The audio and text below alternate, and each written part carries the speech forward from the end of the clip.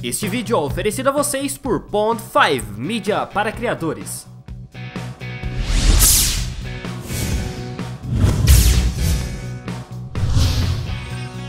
E aí pessoal, tudo bem com vocês? Aqui quem está falando é o Matheus e sejam muito bem-vindos a mais um vídeo aqui no Brainstorm Tutoriais. No vídeo de hoje eu trouxe um pack com as fontes que eu mais utilizo nos meus projetos, tanto nos meus vídeos como nas imagens aqui do YouTube, do Facebook, lá do site e tudo mais.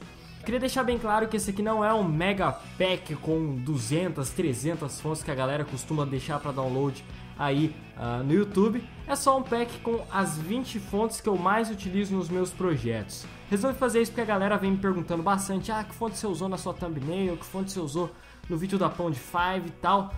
E aí eu resolvi separar e colocar tudo no arquivo para vocês poderem fazer download, beleza? Só explicar uma coisa para vocês, aqui a gente tem dois arquivos comprimidos, que são duas famílias de fontes que eu, que eu utilizo bastante.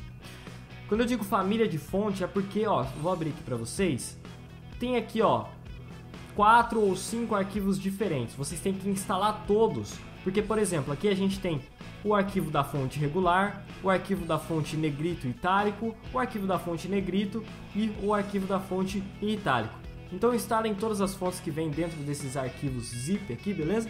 Para vocês poderem usar em qualquer editor de texto, ok?